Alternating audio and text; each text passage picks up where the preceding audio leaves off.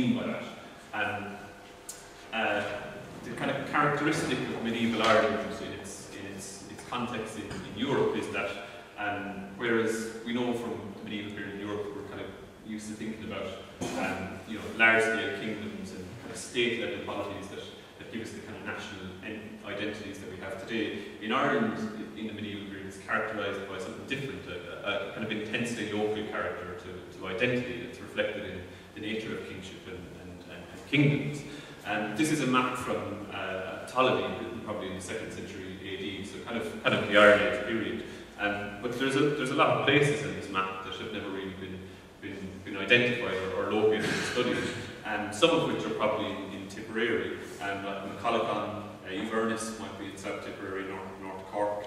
Um, the Regia there on the map, and a royal place, um, is probably the earliest known royal place from, from Ireland, that and the one um, in the north that has often been identified with, with Armagh and Navan Fort.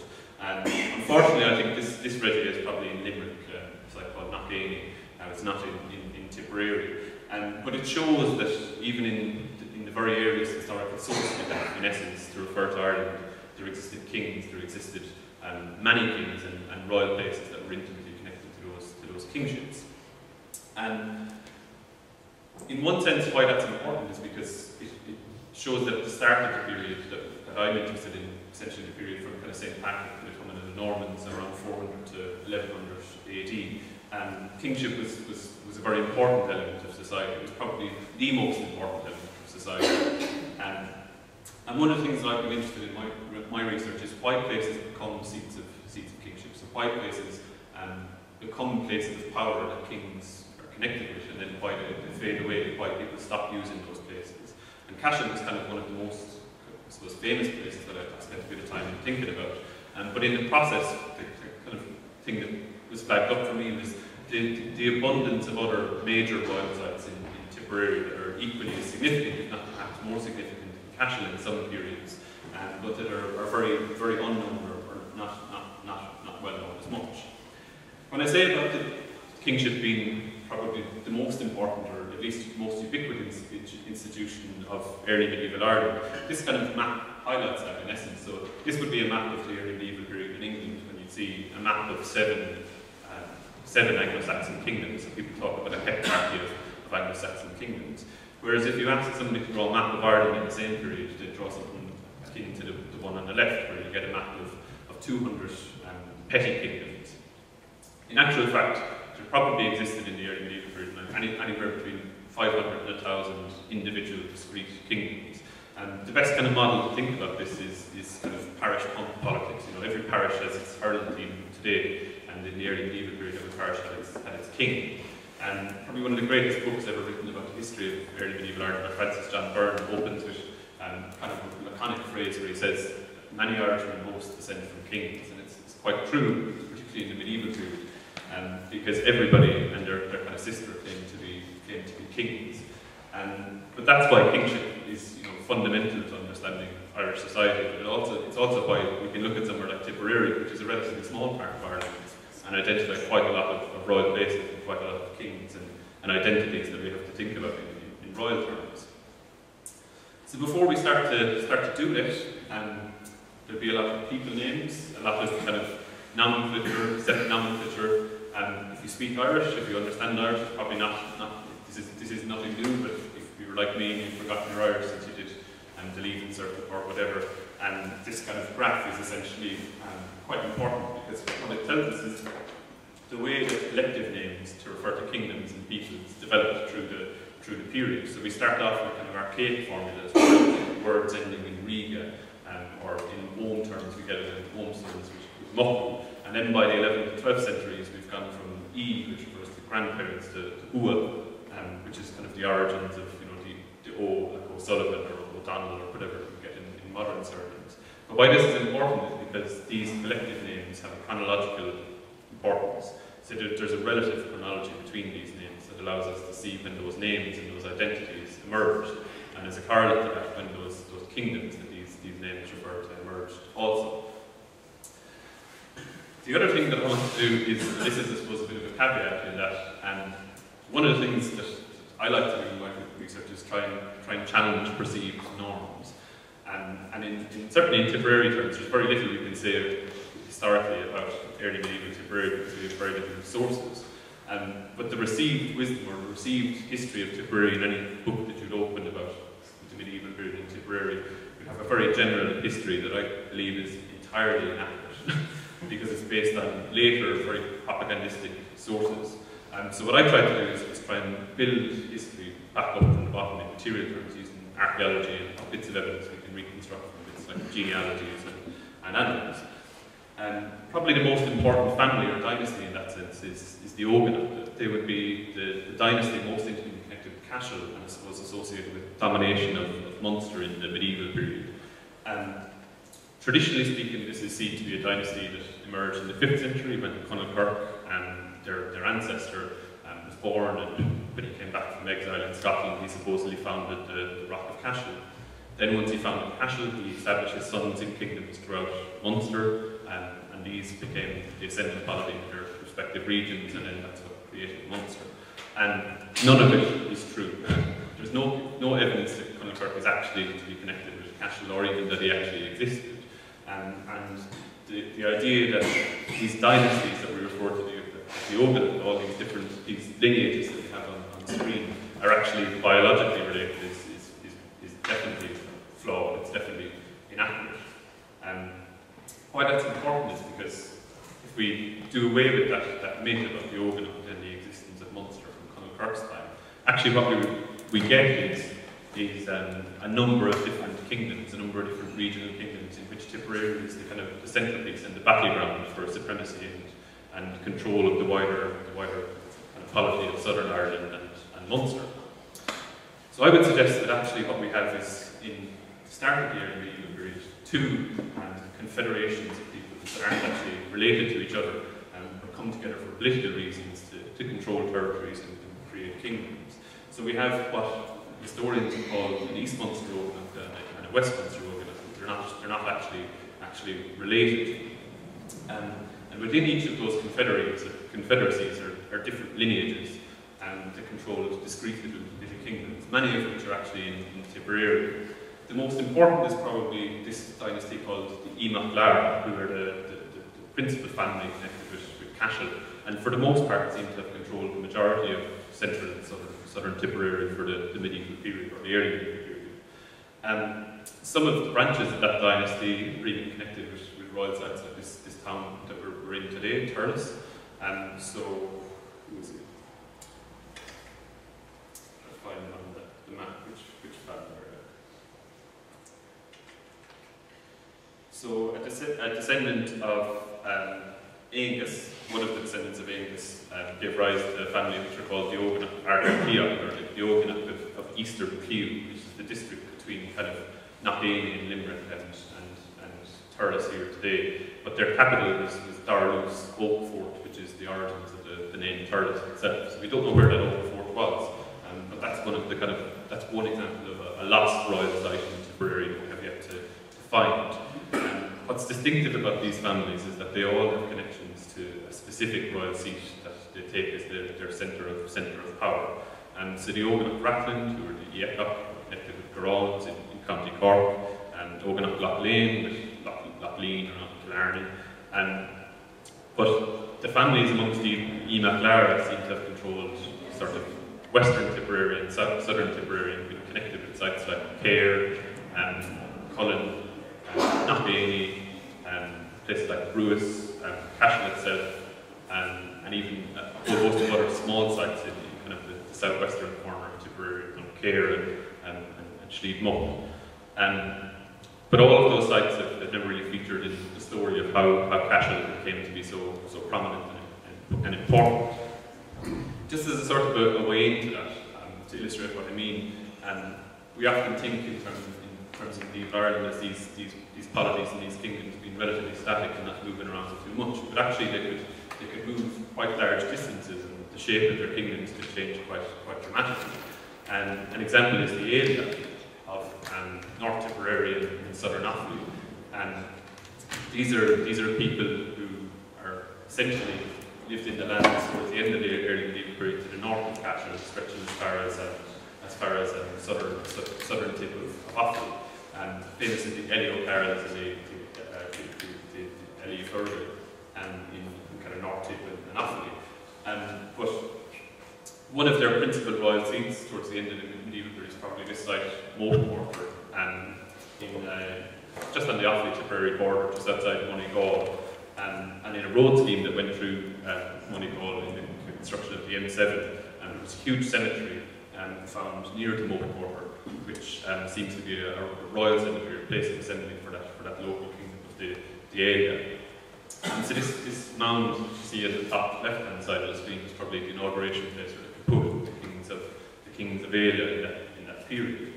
Um, but previous to this, um, place name evidence suggests that the area actually and for the most part, belonged much further north. So this is Crumton Hill in um, County Offaly, which is Cruachan area, and the, uh, the, the, the, the, hill of the, of the gap of the area, which suggests that this, this dynasty lived further south, um, actually originated from further north and migrated south.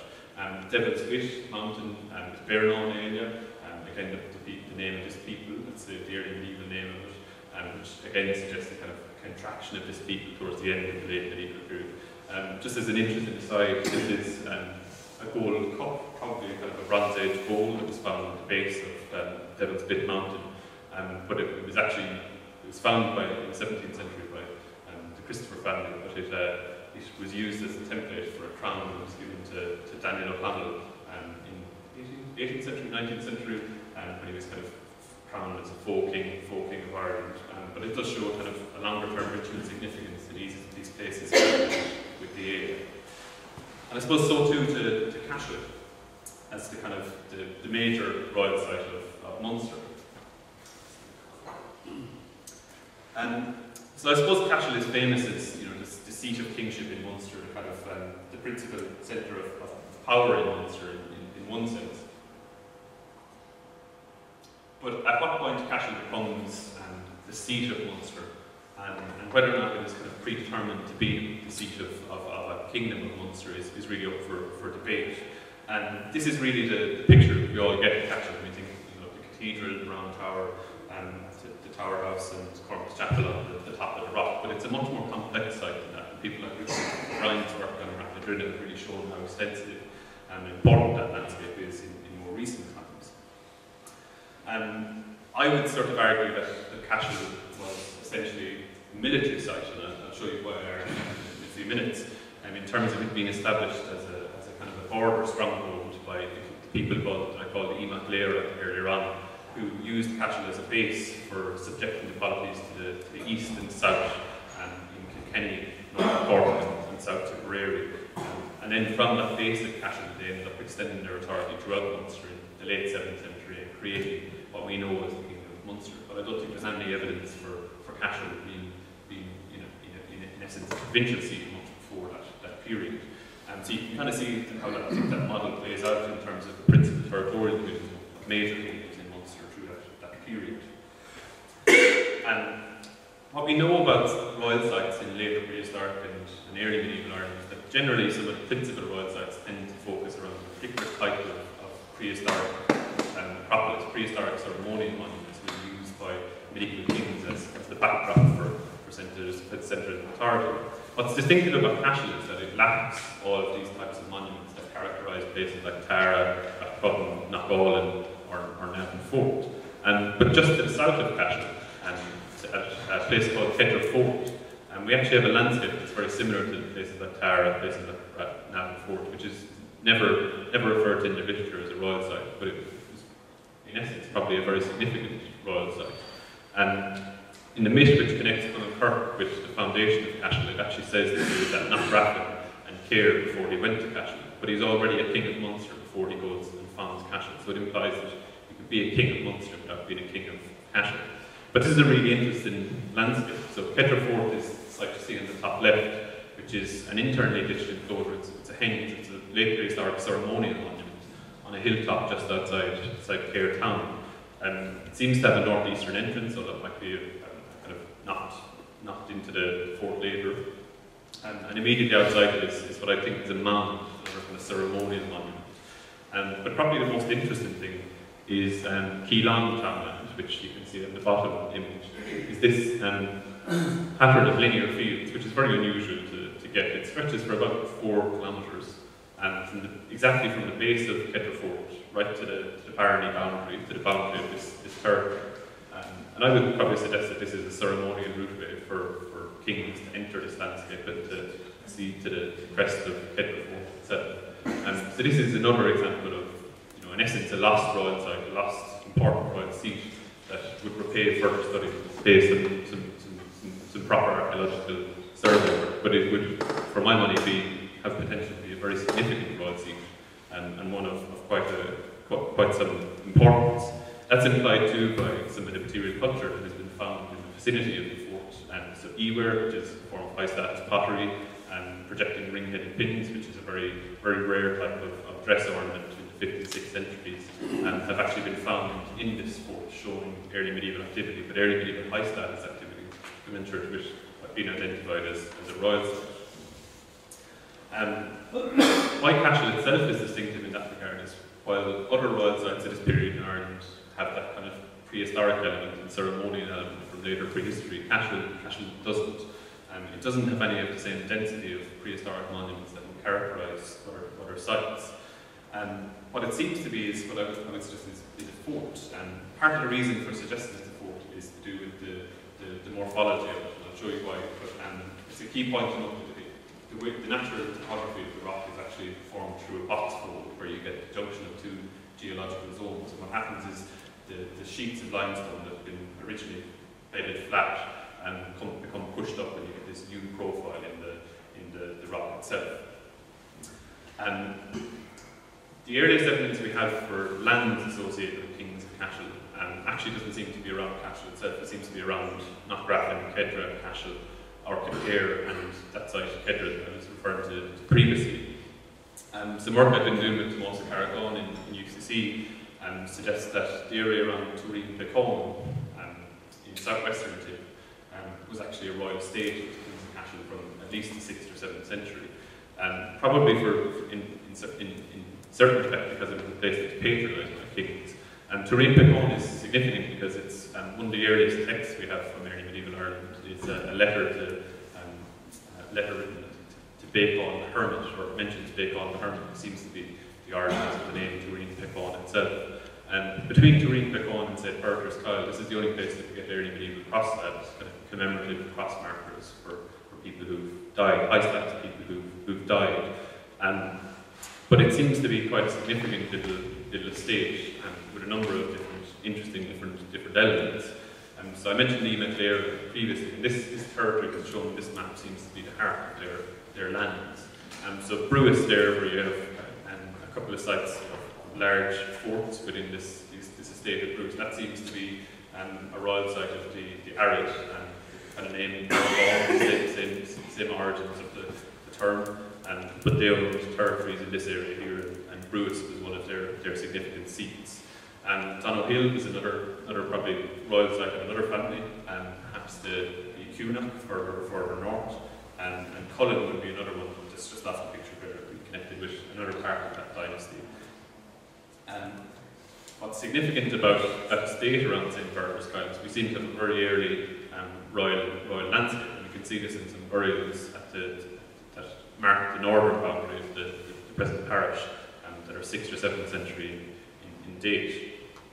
Um, and the area on the left-hand side of the screen, which has a little blue dashed area, just seems to be an assembly place, so where a local kingdom would come on a regular basis to assemble, and where the townland of Drung, Bay seems to mark a, a, place where people gather together. So Drung is the same origins, it's the modern English word Trong, to signify a crowd of people, so a toponym signifies an, an assembly place. Um, and right in the, the, the neck of that, of that, that townland, right on the river, is a huge mound and it seems to be the, the ceremonial assembly place of that kingdom. And so that's one piece of evidence for a very significant royal seat here at Toureen Peakaun is a part of that we don't have otherwise. But also, you had the parish of Turin, or the parish of Killartry, which might be in um, Church of the High King, um, which again implies royal significance as a detached portion, which you can see um, just, um, just over to the left-hand side of the, the image on the, the right.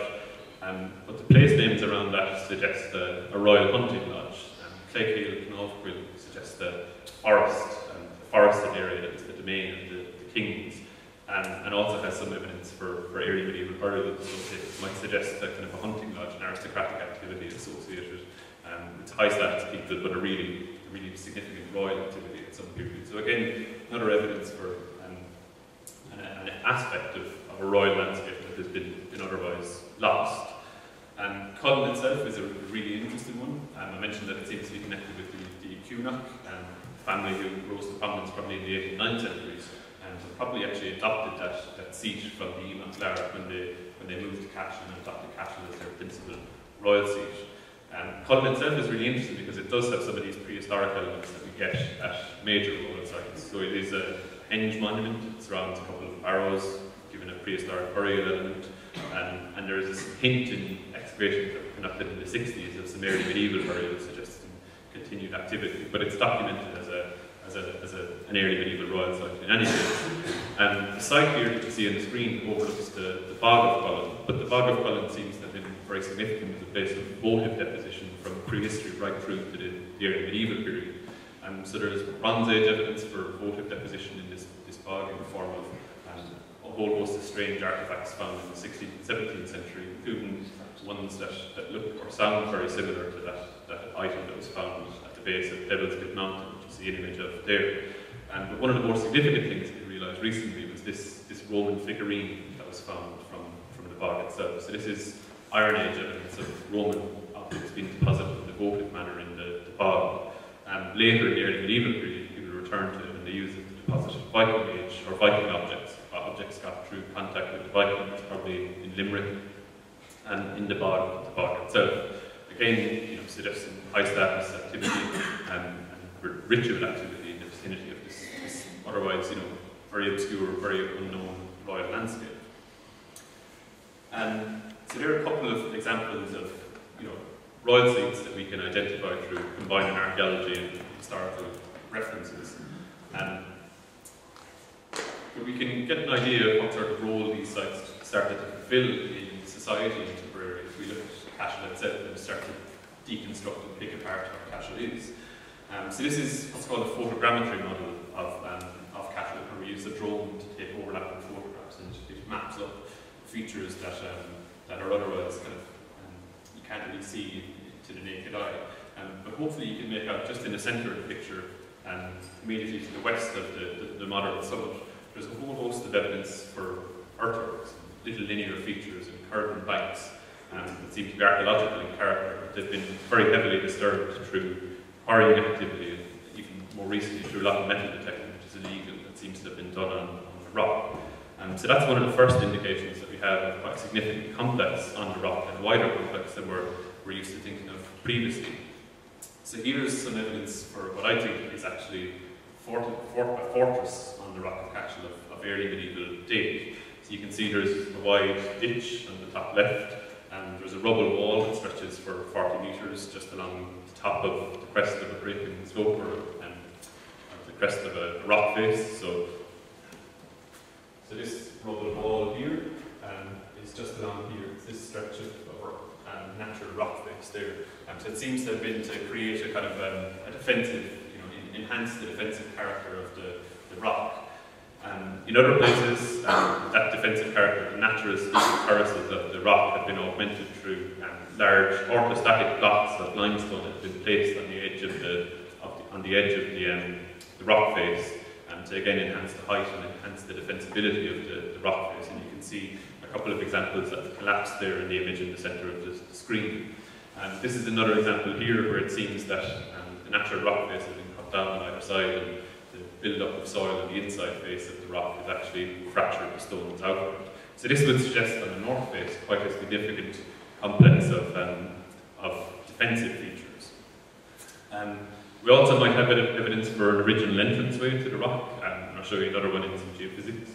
Um, but you can see here a huge rock cut gorge into the northeast corner of the rock um, that would suggest a kind of steep, intentionally steep entrance to the summit of the rocks because it would, if you had to climb up it, um, you couldn't do it on horse, you had to, walk up it, and there's just some evidence for steps in part of this as well.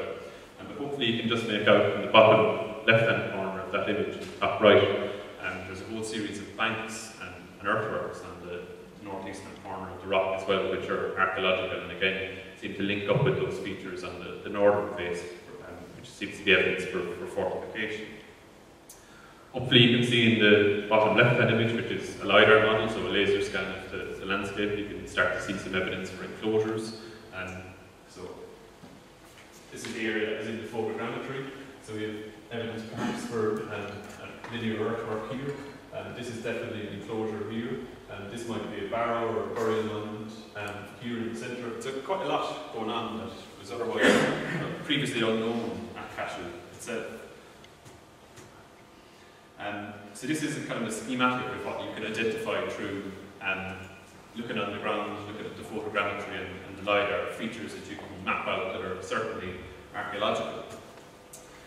Um, that kind of led me to, to, look at more kind of innovative ways of, of looking at caches. So um, over the last couple of years with colleagues in, in Earthsound Geophysical Survey Services, um, we did quite large scale survey of the, the rock caches landscape. So about 28 hectares of geophysical survey was done. This is where we measure the, the magnetic and electrical properties of the soil to map below ground buried archaeology that mightn't have any above ground um, traces.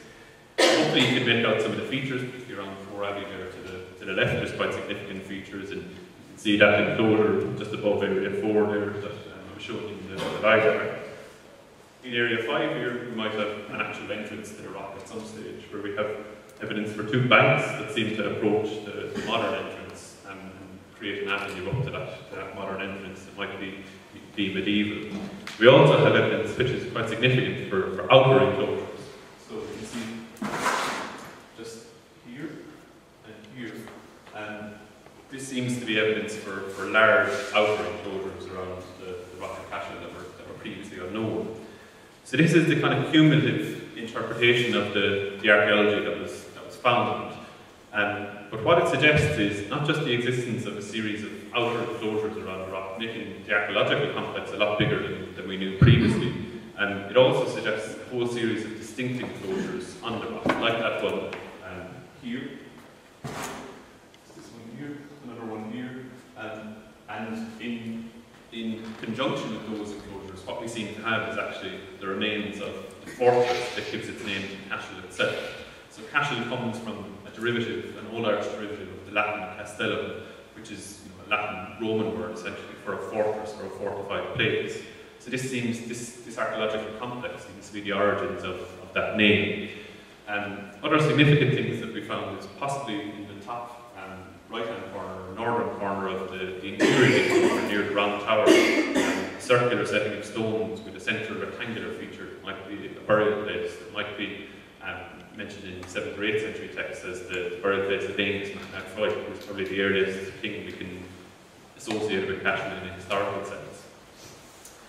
So that could be how I would reconstruct um, all these features um, in terms of a whole series of different enclosures defining precincts and, and, and kind of areas within the rock, and, but also a whole series of enclosures that define hierarchy of space and going into Cashel. So none of this was, was known previously until we did these, these surveys and started to look in a little bit more detail. And hopefully the, the amongst you, that was my Newcastle Geordie accent coming out now saying the word canny. Um, but you can probably see that Main Street in Cashel has a nice arcing profile that corresponds to the, the profile of that, that interior arcing enclosure, which you can see hypothesized on the, the image. And these are the sorts of fortresses that I think Cashel is best paralleled. And what's interesting is that they're, they're best paralleled in northern Britain and western Britain where we have sites that um, are evidently fortresses and places that were fortified, places like Dunadd um, or Clatchard Craig. Dunamace in County Laois might be another parallel for one of these major sites of fortresses that seem to be very significant in the early medieval period.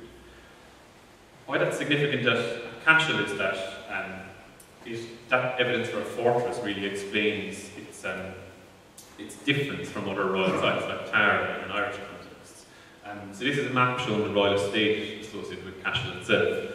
Um, and it's quite an extensive royal estate. Um, but what's interesting about it is that it's not actually one that kind of lends itself very easily to the landscape. It's not a natural topographical unit, a natural landscape unit, which suggests that it has kind of complex, complex origins.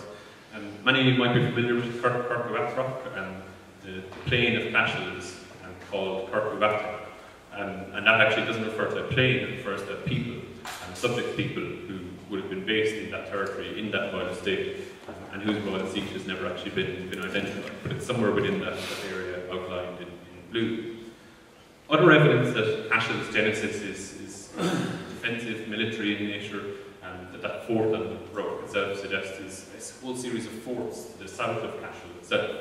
Um, so there's a whole series of, of large multi-valent, so multiple enclosure forts positioned on hilltops and, and high ground facing south and east to the, to the, to the south of the rock of Cashel itself. So places like Richard has been, been working on at Rathnadrinna, places like Ballinree and, and, and places like Windmill Hill all suggest actually a defensive cordon of monuments, probably in the 5th and 6th centuries, delimiting the area around Cashel as a, a major royal seat, but a, a major defended outpost defensive place. Um, and you can see why that's important, when you look at the map and see Kedra um, and Inian, which is another known royal seat to the south of Cashel. But these seem to be, the Kedra is the fort that I showed you, the kind of that, that long linear procession of, of, linear fields, and that suggests a kind of processional route to, to Kedra. So that would suggest another important road site to the south of Cashel, which would explain why it's being defended from the, from the south. When we look at churches, and another way of looking at that defensive aspect is thinking about the fact that we have very little evidence for churches in the landscape around Cashel. Cashel is famous for being supposedly the most quintessentially Christian kingship known from, from Ireland, because it's king for ecclesiastics and, and, and whatever. But there's, there's no certain church within the royal domain itself that is definitely early medieval in, in date. The majority of churches that we know to be documented and, and, one from the early medieval period actually occur outside the royal domain. Um, so that absence of churches, um, early medieval churches in the landscape might suggest um, another aspect to this militarised defensive nature to Cashel in its, its earliest importance. So that would be the 5th and 6th centuries in terms of the origins of Cashel. In the 7th century, when we get a settlement pattern development, we see something very different. We start to see the demarcation of this estate, the royal domain of Cashel, through the position of barrows, and other types of monuments, but we also see the, the, the creation of a, a, cluster of different types of settlements. And so it doesn't really make sense when you have a nice colourly map like this, you spend three or four years thinking about it, it starts to make sense. So what I would suggest we have in the royal domains is a whole settlement hierarchy where these forts that are large, centrally placed forts become centres for clusters of other ring forts or kind of early medieval farmsteads to cluster around and that these were the seats of the, members of the royal household who maintained the king in the royal court um, when they were in, in residence on the, the rock itself. Um, so that would be one element of how Cashel emerged and developed as a, as a royal site. And then when it became a royal site in the 7th and 8th centuries, it becomes a really important ceremonial place because it is, of course, then by that stage, um, the principal royal centre of Munster, perhaps, perhaps even Ireland. A major part of its ceremonial architecture is this monument called Dubh which is a sunken routeway that approaches the Rock Cashel from, from the northeast. Um, and the sunken routeway seems to be a characteristic of major royal sites where we get a site that kings processed along. And the idea of it being sunken was that um, the body of the king was to synergize and, and kind of um, be in union with the place of kingship that was his seat of kingship. So by literally descending into the ground of the royal landscape, the person became that royal and the institution of kingship that they're, they're connected with. But the Dubh is interesting because this monument allows us to trace the procession of, of Cashel's kings for about three kilometres through the, through the landscape, which is unheard of anywhere in, in early medieval Europe to have that length of procession and detailed in, in archaeology. Um, it's a really interesting monument because it has a whole series of turns and twists in it that suggest um, specific areas were highlighted um, kind of symmetrically for, for being singled out as important spaces. And so you can see in, in, in, the geophysics on the top right, where we have the extension that's marked here on the bottom, or on the right hand side of that image, is actually an extension of the avenue. And in the interior is a, is a barrow that we can see just up in the top left. And that barrel um, is, is incorporated into that avenue and to kind of highlight its position um, you know, in, in the, the, architecture of that avenue. It seems to be a kind of symmetrical way of drawing your attention to the significance of this monument. So this could be a royal burial, this could be a place of one of the early kings of Cashel where buried and then incorporated into processions. We know then that um, king, the ceremony of kingship or inauguration ended up on, on the rock, but there's other places within the landscape that would perhaps have been important. One is, Loch Finna, just to the southwest base of the rock. Um, Loch Finna suggests a lake or a body of water, and excavations there have shown um, perhaps a mound where a, lovely 6th century peninsular boat, you can see on, on the screen, was discovered um, in the, the 90s. And Loch Finna, it derives from Loch Fina, and, and Fina is the same, the same derivative as, as Latin vagina.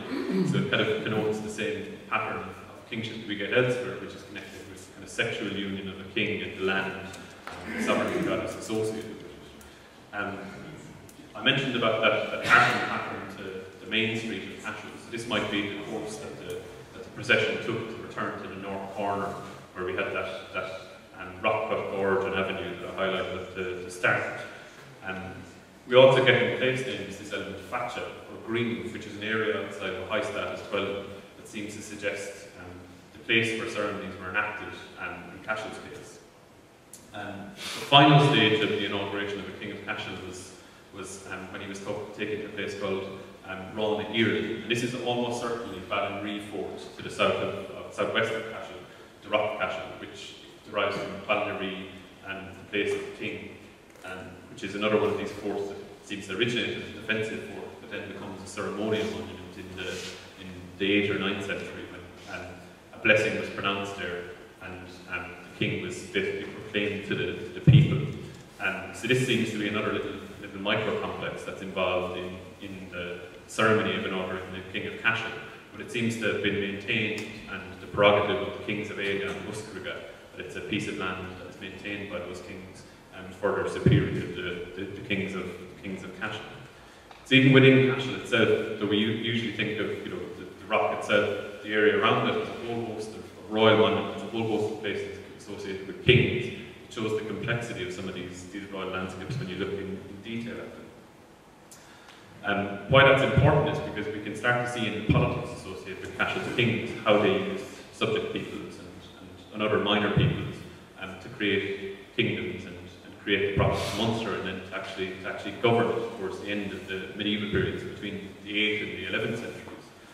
I mentioned the way the 7th and 8th centuries saw the royal estate and have a settlement pattern which harmonised with the, the extent of the estate in the 9th and 10th centuries, we actually see that change when we get platform ring forts or, or mounded ring forts which seem to be later than normal ring forts, and normal farmsteads.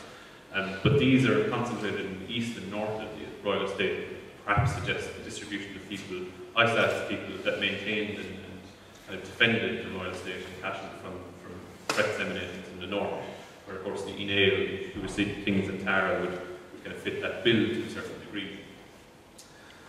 Um, immediately outside the royal domain is another kind of and lost royal seat, where we have Rathmacarty. Rathmacarty East and West are two townlands immediately outside the royal estate, um, but they seem to be the capital of um, a kingdom called the Muskariga.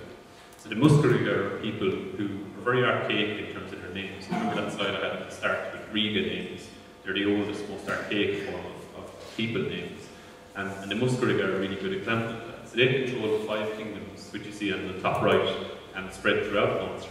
But they don't appear to have owned any of these lands before the 8th or 9th centuries. They seem to actually be people who were relatively minor in significance from somewhere in southern Tipperary, and then in the 8th and 9th centuries had a whole host of lands gifted to them by the kings of Cashel. And this seems to be reflected in that ceremony of inauguration, because it was the king of the Muskariga who proclaimed the king of Cashel to the people at the end of his, his inauguration ceremony. And, and that, that role, that, that close relationship between the kings of Cashel and the Muskariga is embodied in the placement of their, their principal royal estate, Rathmacarty, um, immediately adjacent to the royal domain of the kings of Cashel, which you can see there on the, on the, on the side on the, on the left. So Rathmacarty is in the kingdom of Muskariga or Fevin, but its estate, which is essentially Kilbride parish, um, adjoins the royal estate to symbolise that, that union of and, the kings of kings of Cashel. Um, then in the myth which describes the founding of Cashel, the kings of Aelia are associated with the maintenance of, of Cashel and its, and its kingdom. And it's the, the swineherds or the, the herders of the pigs of the kings of Aelia who, who do this. And, and it seems that their, their seat, the Deirdre, um, was Lochmuck, just to the, to the southwest of Ballinree, which suggests a place in, immediately to in the vicinity of Ballinree, which is the culmination of, of inauguration ceremonies. This was the place, another royal seat of the Kingdom of Aelia and peoples of as we mentioned at the, at the start. Why this seems to be significant is because all these changes that were seen in the rise of new prominent peoples in the 8th and 9th centuries and then being given new royal sites in the vicinity of Cashel um, seems to be connected to a change in the nature of Cashel itself. So I mentioned how inauguration ceremonies we get evidence for the union of the king with place, and that element vagina in Loch, Loch, Loch Nefina outside Cashel suggests some, some pagan element. And, and that would be content with what we know from other royal landscapes and royal ceremonies elsewhere in Ireland.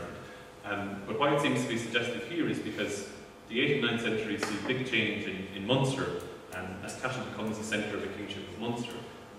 Its kings start to look farther afield, and if they have these pagan elements to their ceremonies, they can't really, can't really do that on the national scene. So what they do is they start to emphasise their, their Christian nature, their Christian piety. So in the 9th century, Cashel becomes the first royal seat from anywhere in Ireland to build a church at the heart of the, the royal landscape. And this has been excavated by, by Brian Hodkinson. You can see the footprint of the church in the um, bottom left, where those, these are post holes in the, in, in, within Cormac's Chapel, which show this 9th, 9th century church.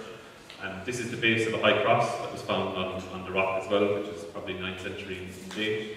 And, and you can see the, the, the footprint of that, that church and in over the outline of Cormac's Chapel, the present day Cormac's Chapel, within the summit of the rock itself. It's quite a small structure, but um, I suppose intellectually it's quite an important and quite a, an audacious structure to a certain degree.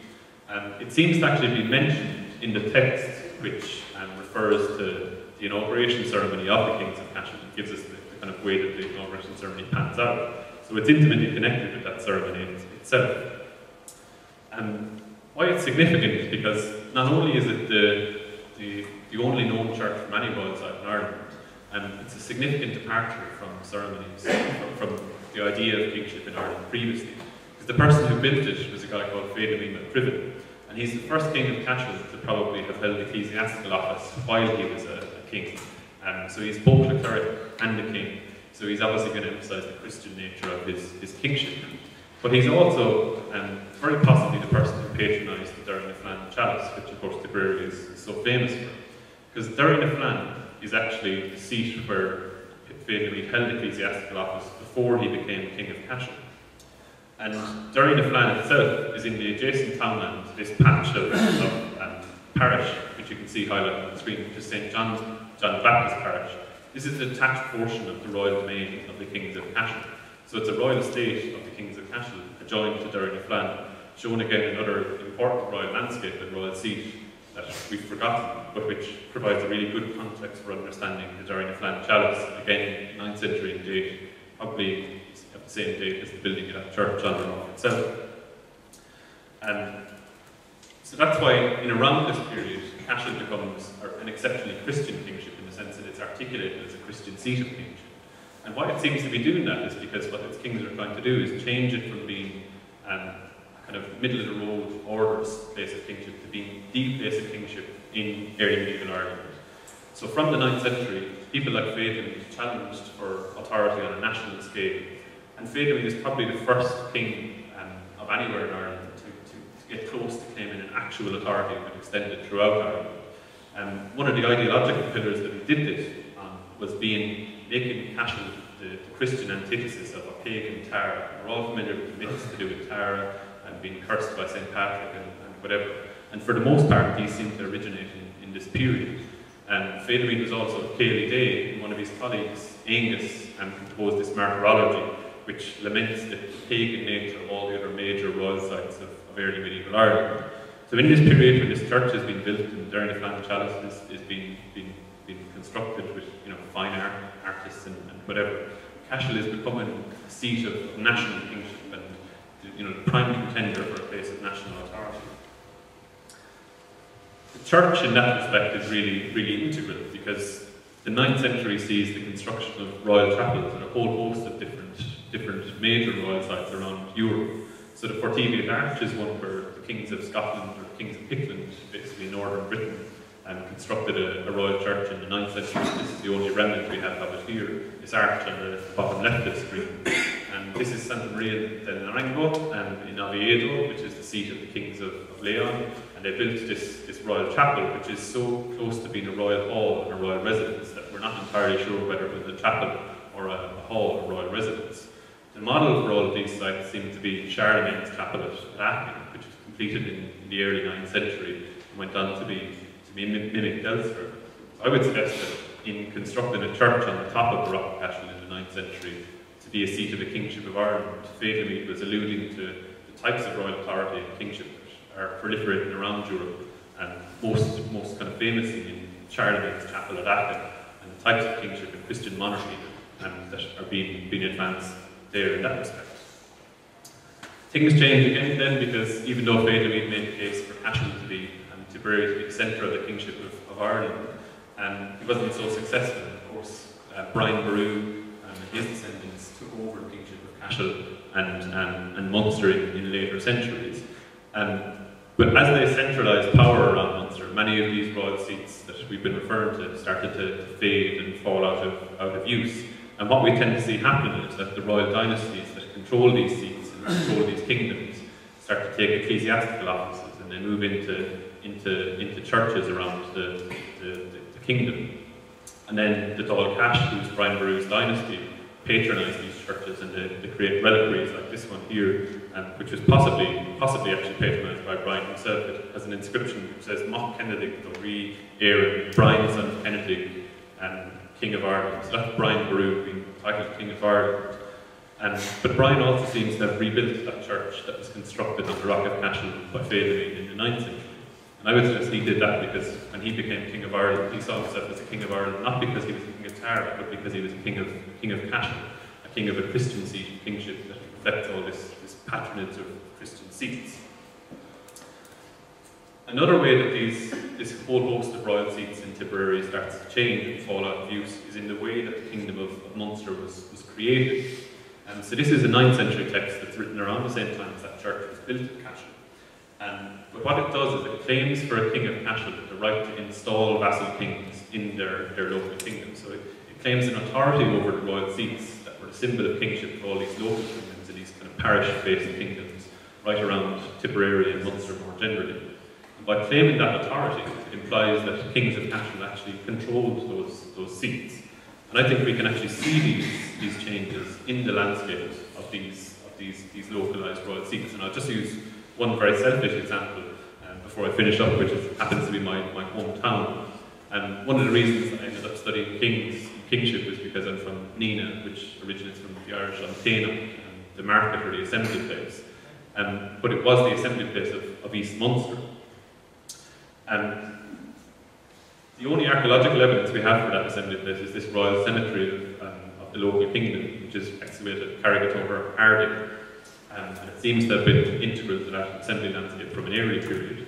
We have penannular brooch, which is probably 6th century in date, very similar to the one from, from Cashel, um, and an oil which you can see on, just above the penannular brooch there. Um, so that, they're evidence for 5th to 8th century activity, high status activity in the area around Nenagh. But then these fall out of use in the 8th century, and when they fall out of use, activity shifts to this place called Tullaheedy. And the original name for um, Nenagh is Uramon, but before it was called the Enoch or assembly place at East Munster, it was called Enoch Teda. And Tullaheedy um, derives from Tullach and Teda or Tullach Teda, and basically the, the hill, the mound of Teda. Teda was this mythical ancestress um, that was a, an ancestor for all these kingdoms, the localized kingdoms that would have used Nenagh as an assembly place.